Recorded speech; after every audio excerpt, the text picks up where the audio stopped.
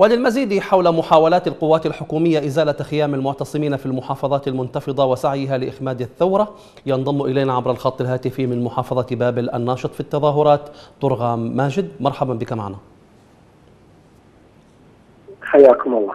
بداية ماذا يعني اليوم خروج التظاهرات في محافظة بابل وذي قار والبصرة وبغداد وعدد من المحافظات المنتفضة على الرغم من القمع الحكومي بحق الثوار؟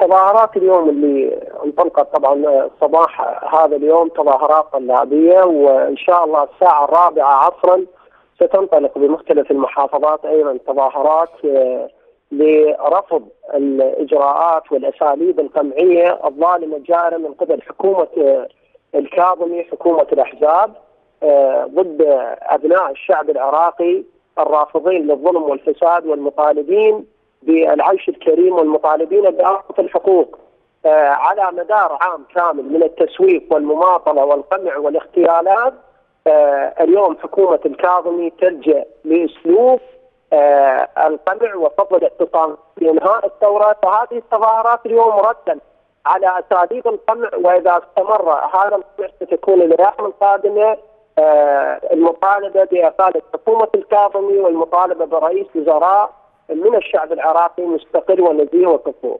نعم. لماذا برأيكم تصر القوات الحكومية والميليشيات على رفع خيام المتظاهرين خصوصا أنها توجهت أخيرا إلى ساحة اعتصام البصرة بعد إزالتها لخيام ساحة التحرير في بغداد بالقوة طبعا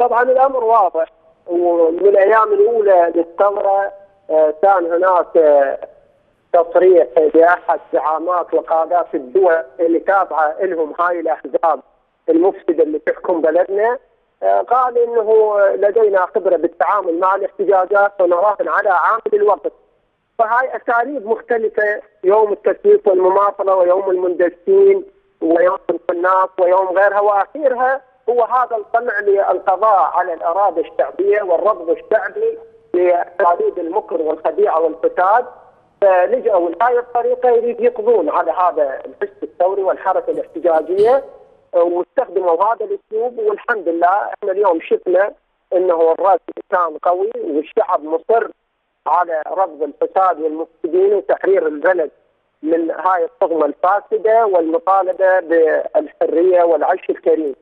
فهاي أساليب يريدون ينالون من عزيمة الشعب وإن شاء الله يعني بكرهم ودهاهم إن شاء الله إلى زوال وإلى فشل. نعم. طيب أنت تحدثنا الآن من بابل واليوم خرجت في المحافظة مسيرات طلابية تاكيدا على استمرار الثورة وتقول أنه بعد الساعة الرابعة سيكون هناك أيضا مظاهرات أخرى. ما أهمية أن تدعم هذه المحافظات بعضها البعض الآخر في ضوء هذه هذا الحراك المستمر؟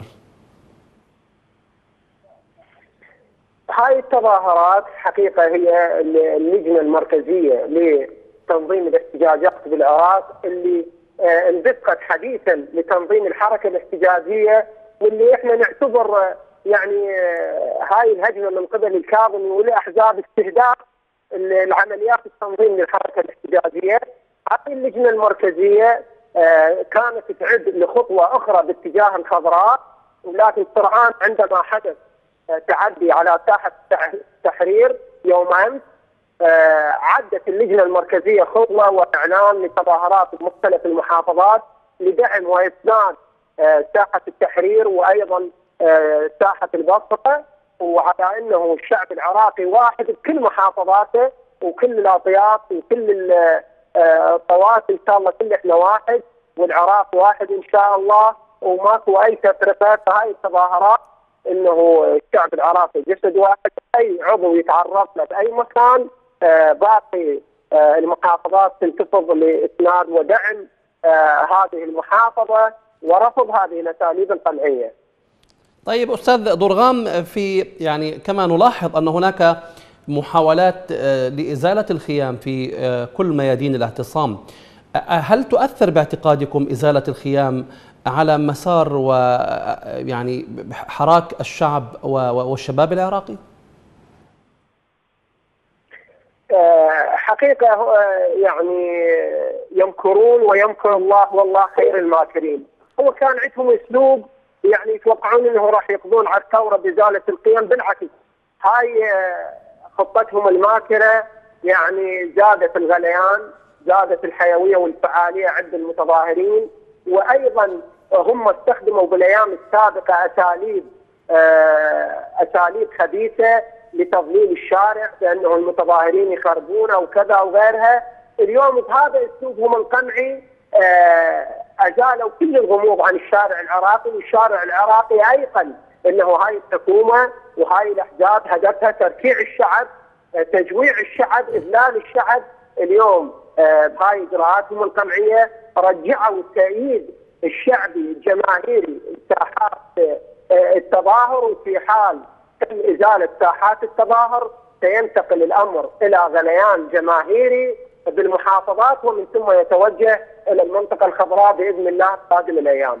شكرا لك الأستاذ درغام ماجد كنت معنا عبر الخط الهاتفي من محافظة بابل.